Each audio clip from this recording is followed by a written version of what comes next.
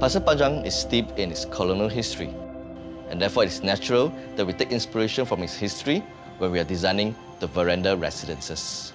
Drawing inspiration from the colonial black and white bungalows and the lush greenery around Pasir Panjang, our design will be the essence of tranquil tropical living.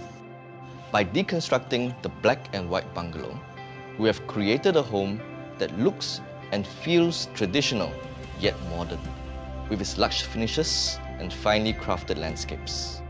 The key idea behind the Verandah Residences is the veranda living concept. This veranda living concept features extensive balconies in every unit. Full height French windows in the bedrooms, as well as courtyard spaces at the ground floor. This allows for the outdoor to come into the indoor spaces. And this is the character of the Verandah Residences.